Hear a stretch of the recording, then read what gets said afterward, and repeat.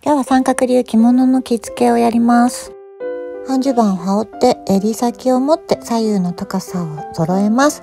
で、後ろのを引っ張ってつけている紐を前に回します。この包帯を前で結ぶと獲物の抜き、首の後ろのスペースが固定されます。そして、えー、右手側の襟を左脇に向かって合わせて、右手側の襟を左脇に向かって合わせます。そして襟の先につけてあった包帯を背中の中心をクロスしてで前に持ってきて結んでおります。これで半襦袢は完成。つどつどシワは取っておきます。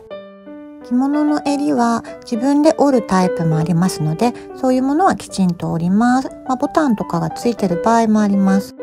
そして襟の縫い目のあたりを持って左右の高さを合わせたら中からよいしょ沿っていきます。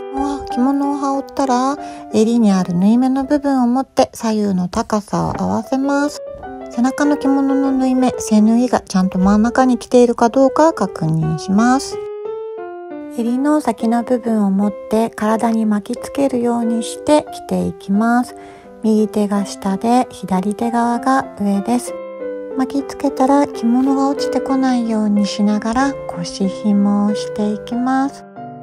私は腰紐はおへそのあたり後ろに回してクロスしたらまた前に持ってきてキュッと縛ります。そうして結ぶというよりかはからげる方が好き。まあ結んでも大丈夫なんだけど端っこを腰紐に引っ掛けて見えないようにしていきます。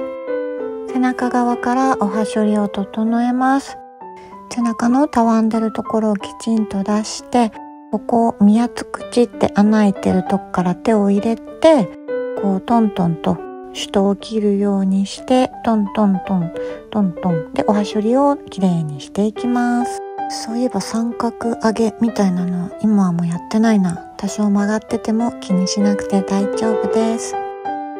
続きましては後輪ベルトです。右手側の襟に見圧口この空いてるところから後輪ベルトを突っ込んで襟をパチンと止めます。でそこから後ろに回して反対側の襟もですね同じ位置パチンと止めます。この時左右が同じ位置で止まってることがポイント。最後背縫いを引っ張って人差し指でシワを伸ばしていきます。背中にシワを作らないことが綺麗なポイントかもできました。ご視聴ありがとうございます。